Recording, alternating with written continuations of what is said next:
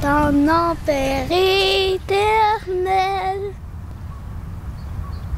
Par Sainte Marguerite.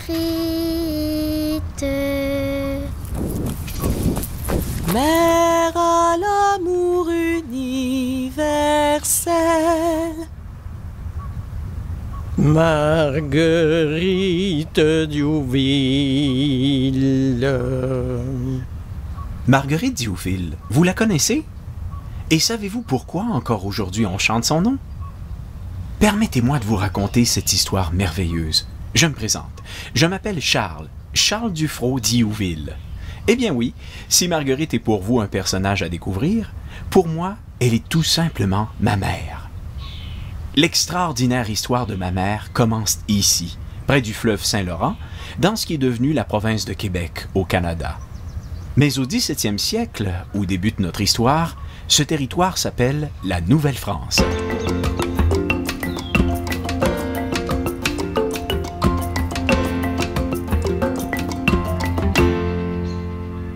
Au temps de la Nouvelle-France, en terre d'Amérique, le fleuve Saint-Laurent est le seul chemin d'accès entre Québec et Ville-Marie, les deux premiers noyaux de développement. La vie des premiers colons est étroitement liée à cette voie navigable. Les habitations des seigneurs, les dépendances, les églises sont construites sur les berges du fleuve. Mon premier ancêtre, Gaspard Boucher, a lui aussi navigué sur le fleuve pour venir s'installer dans ce nouveau monde après avoir quitté la France en 1635. Il vient accompagné de son fils, Pierre, qui a alors 13 ans. Quelques années plus tard, grâce à son intelligence et sa vaillance, Pierre Boucher sera le premier colon canadien à être anobli par le roi. Cela lui permet de fonder sa propre seigneurie en 1667 dans ses terres. Il lui donne le nom de Boucherville. Pierre Boucher est mon arrière-arrière-grand-père et l'arrière-grand-père de Marguerite, ma mère.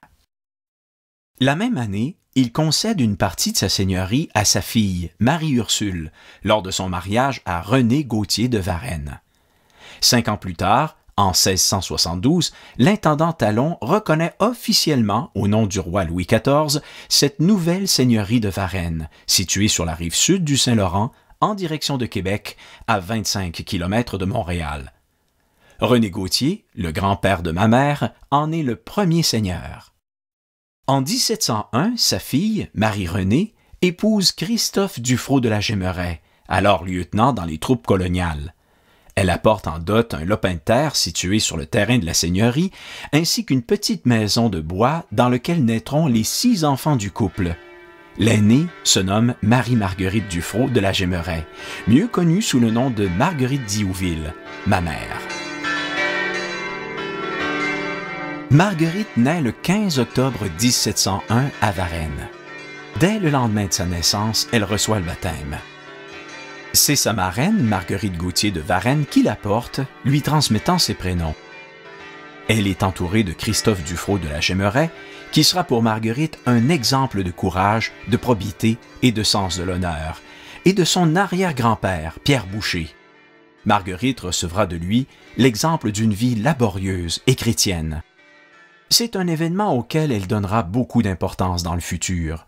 Toute sa vie durant, elle se dira fille de Dieu et aura une confiance absolue au Père éternel. Elle reconnaîtra un enfant de Dieu en chacune des personnes qu'elle rencontre. Marguerite a à peine sept ans lorsque la mort de son père plonge sa mère dans l'embarras financier. Vers 1712, Pierre Boucher, impressionné par les qualités précoces de son arrière-petite-fille, l'a fait admettre au pensionnat des Ursulines à Québec. Elle y séjourne durant deux ans, y faisant sa première communion. Elle y acquiert une réputation de piété, d'intelligence et de maturité d'esprit. De retour à Varennes, à l'âge de 12 ans, Marguerite devient auprès de sa mère une auxiliatrice précieuse, exécutant des travaux à l'aiguille. En effet, à l'époque, on brodait tout, depuis les fichus et les robes des dames jusqu'aux souliers et aux vestons des messieurs. Marguerite s'efforce par son travail de participer à la subsistance de la famille, entourée de ses frères et sœurs pour qui elle deviendra une seconde mère, arbitre de leurs différends et confidente de leurs secrets. Marguerite a un tempérament réfléchi, mais elle est aussi une jeune femme vive et enjouée. elle est sensible au sentiment d'admiration qu'elle inspire. À 18 ans, elle fréquente Louis-Hector Piotte de l'Angloiserie, un jeune homme qu'elle projette alors d'épouser. Mais la famille du prétendant brise ce projet de mariage lorsque la mère de Marguerite épouse en seconde noces Timothy Sullivan, un médecin irlandais. C'est que la petite noblesse de l'époque refuse les alliances familiales avec les immigrants. Deux ans plus tard, la famille quitte Varennes pour s'établir à Montréal, où Marguerite rencontre finalement François-Madeleine Diouville, épouse en 1722. Le couple s'installe chez la mère de François, rue du Marché. Marguerite, qui rêvait d'une existence aisée, se trouve alors confrontée à de nombreuses déceptions. La vie commune avec sa belle-mère est difficile et elle souffre de l'absence fréquente de son mari. En effet, François réside habituellement à l'île aux Tourtes, où il occupe un poste de fermier responsable d'un comptoir de traite. Trois ans plus tard, en 1725, il perd son poste et lorsqu'il meurt en 1730, il est ruiné et endetté, laissant Marguerite enceinte avec deux enfants âgés de six et un an. Durant ses huit ans de mariage, Marguerite aura vécu la mort de trois enfants en bas âge, et celui qu'elle porte ne survivra pas. Pour subvenir aux besoins de sa petite famille, elle reprend le commerce de mercerie de sa belle-mère et le fait fructifier. Elle trouve un grand réconfort dans la prière et s'engage dans des associations pieuses de laïcs. Se préparant sans le savoir à sa mission future, elle se plaît à visiter les pauvres de l'hôpital général tenu par les frères Charon, à leur apporter du réconfort et à repriser leurs vêtements. Un moment clé dans l'orientation future de sa vie survient en novembre 1737 lorsqu'elle rencontre Françoise Ossau, dite Ozon, une pauvre aveugle dont le mari est hospitalisé à la maison de charité des frères Charon. Marguerite ressent le désir de la garder chez elle et en fait la demande. Lors de ses visites aux pauvres et aux malades, Marguerite avait côtoyé M. Louis Normand de Faradon, supérieur du séminaire et vicaire général de Ville-Marie. Il avait été témoin de l'efficacité de Marguerite dans l'administration de son foyer. Il avait remarqué avec quel soin elle veillait à l'éducation de ses fils et il avait pu apprécier sa nature généreuse et charitable. M. Normand autorise donc Marguerite à la recueillir chez elle. Cette nouvelle se répand rapidement dans toute la ville, ce qui vaut à Marguerite de recevoir plusieurs autres demandes d'hébergement. Elle réalise rapidement qu'elle ne pourra suffire seule à cette tâche, et s'assure de l'aide de trois amis, Louise Tomure de la Source, Catherine de Mers et Catherine Cusson elle se consacre au Père éternel le 31 décembre 1737, promettant de prendre soin des pauvres jusqu'à la fin de leur vie. C'est ce moment qui marque la fondation de la communauté des Sœurs de la Charité de Montréal, appelée couramment Dans le vieux français, être gris, ça veut dire être ivre. Puis aussi, au moment qu'elles sont, mises ensemble, il y a eu, euh, de la part des gens autour d'elle, la moquerie. On, s'est demandé ce que faisaient ces femmes-là ensemble. Le fait qu'une femme ne se remarie pas ou n'entre pas en communauté, c'est suspect. Et elle était la veuve de François Diouville. Donc, qu'est-ce qui se passe dans la maison Le Verrier quand elles se mettent ensemble? Bien, elles continuent le commerce de François. François a un frère son frère et lui, son père, ont une ferme vers euh, l'île euh, près de Vaudreuil. Puis, ils font un commerce de fourreux avec les Indiens qu'ils interceptent euh, sur l'Outaouais à cette hauteur-là, puis ils font des échanges. Mais pour faciliter les échanges, ils font aussi le commerce de l'eau de vie. Alors, ils prennent un certain contrôle sur le commerce de, des fourreux si bien que ce sont eux qui arrivent avec les fourreux à Montréal et euh, ils, sont, euh, ils sont détestés à cause de ce commerce. Puis on va se moquer d'elles quand elles vont sortir pour aller à la messe ensemble. On va leur crier qu'elles sont ivres, on va les appeler les sœurs grises. L'année suivante, en 1738, le petit groupe s'installe dans la maison Le Verrier. Le nombre d'indigents ne cesse d'augmenter. Les tâches sont nombreuses. Entretenir la maison, donner des soins aux pensionnaires et faire des travaux à l'aiguille pour gagner la subsistance de tous. Elles demeurent dans la maison Le Verrier jusqu'à ce que le feu les en expulse en janvier 1745. Marguerite ne sera pas découragée pour autant, s'en remettant à la Providence. La Providence est admirable. Elle a des ressources incompréhensibles pour le soulagement de ses membres. Elle pourvoit à tout. En elle est ma confiance. Marguerite et ses associés chercheront ensuite pendant deux ans un logis stable où installer leur œuvre. Ce lieu, elles le trouveront au mois d'août 1747. La construction de l'hôpital général de Montréal avait été autorisée en 1692 pour permettre aux frères Charon et ses associés d'héberger les hommes infirmes et pauvres. L'absence de recrutement et les difficultés financières rendent les frères incapables de continuer l'œuvre de l'hôpital et ils demandent d'en être déchargés. Les autorités ecclésiales et civiles font alors appel à Marguerite et lui confient l'administration de l'hôpital. Le 7 octobre 1747, Marguerite et ses compagnes prennent possession des lieux. Autant on, les a tournés en dérision au moment de leur vécu ensemble, autant euh, quand on va se trouver devant une impasse, quoi faire avec l'hôpital général, on ne trouve pas de ressources à l'intérieur de Montréal autres que Marguerite Diouville pour prendre soin de... Donc, euh, il y a un revirement de la part des gens de Montréal vis-à-vis de Marguerite Diouville et ses compagnes, qui s'est affirmé comme quelqu'un de capable de diriger l'hôpital général. À leur arrivée, les bâtiments tombent en ruine. Deux frères et quatre pauvres y languissent dans la misère. Marguerite Diouville rénove l'hôpital, y construit de nouvelles ailes et multiplie le nombre de ses collaboratrices afin d'accueillir toute personne, hommes, femmes et enfants, malades ou indigents. En 1753, Louis XV reconnaît officiellement Marguerite et ses collaboratrices sous le nom de Sœurs de la Charité de l'Hôpital général de Montréal, Sœurs Grises. Deux ans plus tard, suite à l'approbation de l'évêque de Québec, elles reçoivent un habit religieux ainsi qu'une croix qui le complète, ornée à chaque extrémité d'une fleur de lys, emblème de la royauté française. Une dernière épreuve de taille dans la vie de Marguerite survient en 1765, lorsqu'à nouveau, un incendie ravage leur lieu de résidence, l'hôpital général. Pendant plusieurs mois, les sœurs sont impuissantes à soulager ceux qui viennent vers elles. Face à cette situation, Marguerite écrira Il y aurait bien du bien à faire si nous avions de quoi. Il se présente tous les jours des pauvres qui ont un vrai besoin. Nous n'avons plus de logement et j'ai le cœur bien gros de les renvoyer. Mais il faut bien le faire. Si je savais où il y a de l'argent et que je puisse en prendre sans voler, j'aurais bientôt fait un bâtiment qui logerait près de 200 pauvres, mais je n'ai rien. C'est dans cet hôpital général que Marguerite meurt en 1771.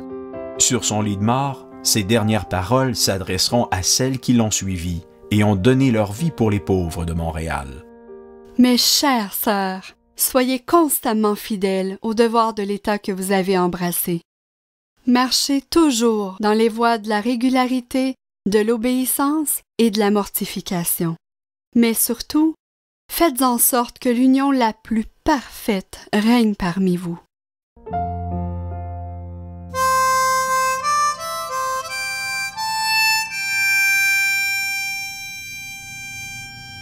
Sans hésitation, ses compagnes vont poursuivre son œuvre avec audace et parfois même au péril de leur vie.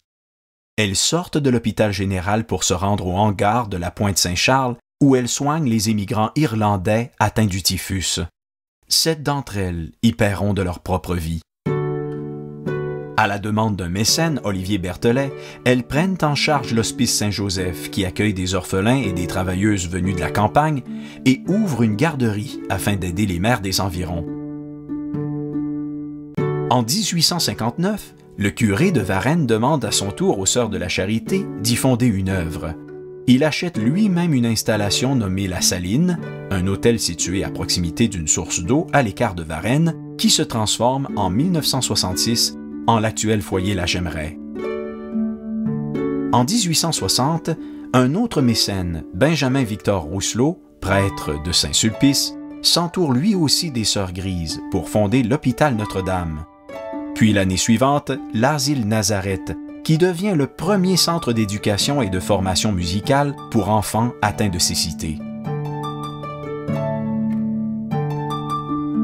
En 1877, avec les messieurs de Saint-Sulpice et la Société Saint-Vincent-de-Paul, les Sœurs Grises inaugurent l'Hospice Saint-Charles à Montréal, un refuge pour les sans-foyers qui sera le premier jalon d'une œuvre qui porte aujourd'hui le nom d'Accueil Bonneau. Dans le même élan de générosité, des Sœurs Grises iront jusqu'à quitter définitivement leur maison mère pour initier des œuvres à Saint-Hyacinthe en 1840, Byton, Ottawa en 1845 et Québec en 1849. À la demande des évêques, ces fondations deviennent bientôt des communautés autonomes, se réclamant toutes de Marguerite Diouville. Dans la foulée de ces envois, un autre départ historique survient le 24 avril 1844. Cette fois, c'est pour gagner Saint-Boniface au Manitoba. Après 58 jours de canotage et de portage, aidés par des Amérindiens, quatre sœurs grises viennent y apporter leur aide. Elles seront suivies, 14 ans plus tard, par trois autres consoeurs qui gagneront ensuite l'Alberta. Selon leur charisme et leur esprit aventurier, les filles de Marguerite Diouville ont imité leur fondatrice, transmettant avec passion la flamme d'une mission d'amour et de foi en terre d'Amérique en de très nombreuses œuvres.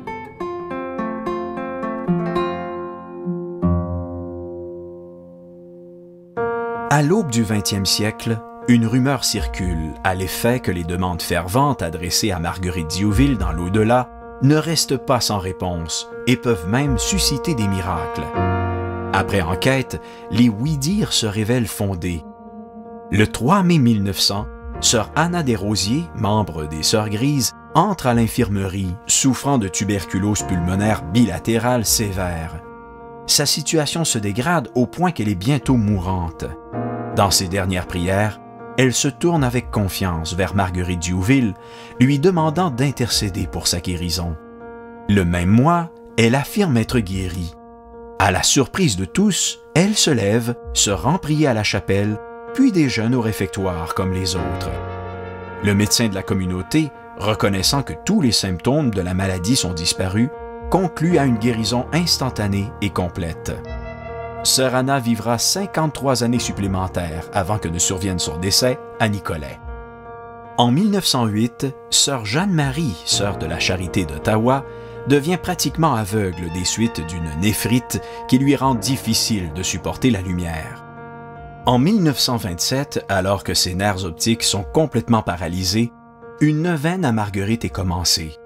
Le septième jour, après une nuit de sommeil, Sœur Jean-Marie regarde sa montre et se rend compte qu'elle y voit l'heure, sans même porter de lunettes. Ces deux guérisons miraculeuses sont acceptées par dix médecins du Collège médical de la Sacrée Congrégation des Rites à Rome en 1957. Elles ouvrent la voie à la béatification de Marguerite le 3 mai 1959, à laquelle assistera sœur Jean-Marie de Blois le pape Jean XXIII publie le décret proclamant bienheureuse une première femme d'origine québécoise. Monseigneur Barbetta en fait la lecture. Après un résumé de la vie et des œuvres de Mère Diouville, le Saint-Père décrète Aussi, répondant aux vœux des Sœurs de la Charité et d'autres fidèles, nous accordons la faculté d'appeler à l'avenir du nom de bienheureuse cette même vénérable servante de Dieu, Marie Marguerite Dufaux de la Gemeraie, veuve Diouville, et d'offrir à la vénération des fidèles son corps et ses reliques, ainsi que d'orner de rayons l'image de la bienheureuse.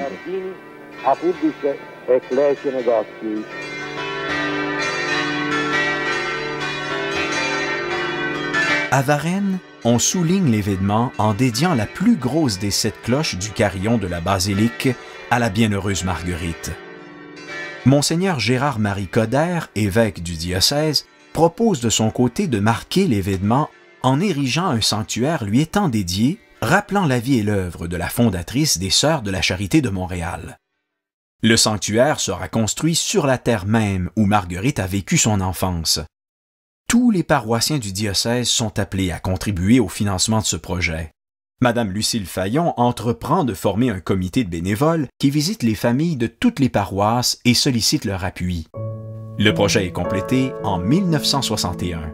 Le 25 juin, une messe solennelle inaugure officiellement le sanctuaire de Mère Diouville à Varennes.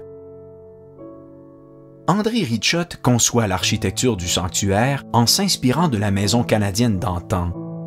Les premières habitations de la Nouvelle-France étaient en effet construites de gros cailloux ramassés dans les champs et dotées de hautes toitures à pignons. La surface massive du mur est allégée par la couleur obtenue en cassant l'enveloppe extérieure des cailloux. La verrière de la façade est conçue et réalisée par M. Claude Bétinger, évoquant divers moments de la vie de Marguerite à Varennes ainsi que son œuvre à Montréal. Dans le vitrail central, l'artiste nous présente Marguerite Diouville revêtue du costume traditionnel des Sœurs Grises. Sa main gauche indique le crucifix pour nous rappeler son grand amour de Jésus qui l'a conduite au Père éternel en qui elle avait une confiance absolue. Sa main droite est tendue vers les pauvres, vers toutes les personnes dans le besoin et vers tous ceux et celles qu'il a pris avec confiance. La couleur rouge dans ce vitrail symbolise la gloire de la sainteté, mais aussi l'amour et la charité qui ont guidé les pas de Marguerite. Ce charisme est illustré sur la façade de la cheminée du sanctuaire. Un bas-relief sculpté par Louis Parent nous présente Marguerite Diouville frappant de la main droite à une porte invisible. Elle sollicite du secours et du pain pour les pauvres. Un cœur, sculpté dans sa main gauche, rappelle sa générosité à donner ses biens et sa vie au service de ses protégés. On retrouve inscrits dans la pierre les mots que le pape Jean XXIII a utilisés pour désigner Marguerite, mère à la charité universelle. Jean Lang a illustré l'étendue des œuvres qui ont pris naissance à l'hôpital général à l'aide de quatre céramiques intégrées au mur du sanctuaire. L'œuvre du pain, Marguerite distribue la nourriture à ceux qui en ont besoin. L'œuvre des enfants abandonnés. Marguerite ouvre la première crèche. L'œuvre des personnes âgées. Marguerite fournit à tous les vieillards nécessiteux le gîte et le pain. L'œuvre des malades. Marguerite soigne les pauvres, les soldats et les prisonniers blessés ou malades. Depuis sa fondation, le sanctuaire accueille durant la belle saison de nombreux pèlerins qui viennent rendre hommage à Marguerite Diouville. C'est un lieu de célébration. Chaque année, on organise un grand pèlerinage précédé de trois jours de prières collectives. Les grandes fêtes du diocèse et de la paroisse sont soulignées. Les événements importants de la vie de la communauté des Sœurs Grises sont commémorés. Le sanctuaire est aussi un lieu de recueillement et de prière personnelle. Il permet aux visiteurs d'entrer en contact avec la spiritualité de Marguerite Diouville, porter la tendresse du Père éternel aux pauvres. À la tombée du jour, une croix illuminée marque son emplacement. Elle rappelle que le 23 décembre 1771, au moment du décès de Marguerite, des gens ont mystérieusement aperçu une croix lumineuse flotter au-dessus de l'hôpital général. Dès 1961 jusqu'à 2003, les Sœurs Grises assurent l'animation au sanctuaire. Elles offrent des visites guidées à divers groupes, enfants, adolescents, adultes et personnes âgées. Avant que ne se termine le 20e siècle, 132 miracles sont attribués à la Bienheureuse. Deux sont présentés à Rome en vue de sa canonisation, dont celui en faveur d'une gatinoise, Lise Normand. En avril 1978, Madame Normand est hospitalisée à Ottawa afin de traiter une leucémie aiguë. Les traitements s'étendent sur quatre mois. Après une courte rémission, il y a rechute en nous et réhospitalisation. La famille et les amis se tournent alors vers Marguerite Diouville, lui demandant d'intercéder pour sa guérison. L'année suivante, le 10 février, la malade demande à sortir de l'hôpital pour son anniversaire de naissance, ce qui lui est refusé compte tenu de la gravité de son état de santé. Cependant, sentant que son état s'améliore mystérieusement, Lise décide tout de même de quitter l'hôpital. Le bas du corps paralysé, souffrant de la jaunisse, elle libère sa chambre, convaincue qu'elle n'aura plus besoin d'y revenir. Son intuition se révèle juste. La docteure J. Duffin, qui révisera son dossier médical, témoignera que cette patiente ne devrait pas être encore en vie. Lise sera pourtant bien vivante 11 ans plus tard, lorsque le pape Jean-Paul II inscrit Marguerite Diouville au nombre des saintes, le 9 décembre 1990, confirmant son dévouement exceptionnel. Beatam Maria Margaritam Diuvil, Sanctam esse decernimus et definimus, ac sanctorum cataloga scribimus. Statuentes eam in universa ecclesia, inter sanctos pia devotione recoli debere. In nomine Patris et Filii et Spiritus Sancti.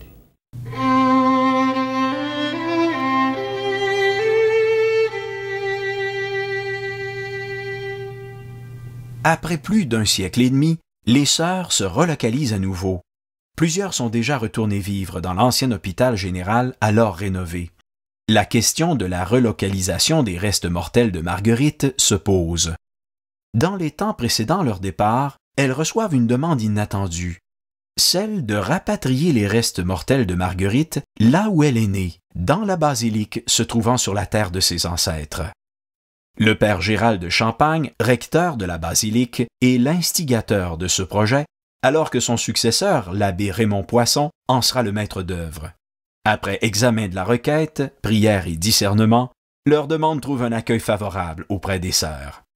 En lien avec cet événement, la ville de Varennes, les Sœurs Grises et la paroisse Sainte-Anne feront construire à proximité de la basilique une maison de partage et de solidarité avec les plus pauvres, la Maison Grise. Ce nouvel édifice servira deux objectifs, pourvoir aux besoins de la paroisse ainsi qu'à l'accueil des pèlerins. C'est ainsi que le 8 décembre 2010, après un périple de trois jours, le reliquaire contenant les restes mortels de ma mère arrive finalement à Varennes, où ceux qui recherchent sa présence peuvent encore se recueillir aujourd'hui.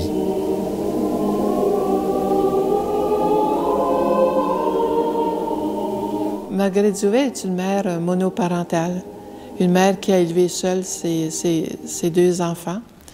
Sûrement qu'elle était euh, fière d'eux, qu'elle désire le meilleur pour eux. Ils vont fréquenter d'abord l'école primaire ici, sur Place d'Armes, puis ils vont aller à Québec. Comme leur père, elle a payé leurs études par son travail. Et euh, ses enfants sont associés à son rêve de solidarité avec euh, les plus pauvres.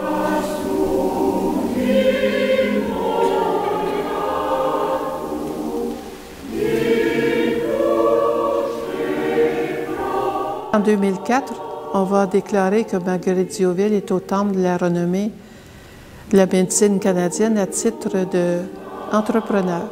Elle n'est pas médecin, n'est pas infirmière, n'a pas fondé d'hôpital, mais elle a inspiré beaucoup de gens à sa suite pour euh, ce service des personnes euh, dans le besoin, d'aller vers euh, les gens pour améliorer la condition de vie. Alors, elle a eu un grand rayonnement à travers euh, toutes ces institutions de, charité ou de soins en médecine et pour les soins hospitaliers, les soins de, services sociaux que son exemple va inspirer. Son dernier voyage aura été marqué par des escales à l'hôpital général, à la basilique Notre-Dame où elle aura prié tant de fois, et à l'église de Boucherville. Pourquoi donc cet arrêt à Boucherville? Simple visite d'une mère à son fils.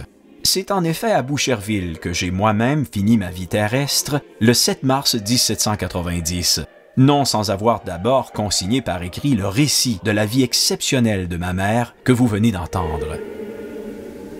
Au fil du temps, les Varénois ont exprimé leur attachement à Marguerite par diverses évocations que l'on retrouve ici et là à travers la ville. Une promenade et des rues portent le nom de Marguerite et de ses ascendants. Pierre Boucher, son arrière-grand-père, René Gauthier, son grand-père, et Marie-René Gauthier, sa mère. La municipalité régionale de Comté, une maison de partage ainsi qu'une association bénévole portent le nom de Marguerite Diouville. Toutes ces évocations du passé de Marguerite honorent la mémoire d'une Québécoise dont la conscience sociale nous interpelle encore aujourd'hui. Elle a montré la nécessité de fournir des soins de santé et de l'assistance sociale aux plus démunis.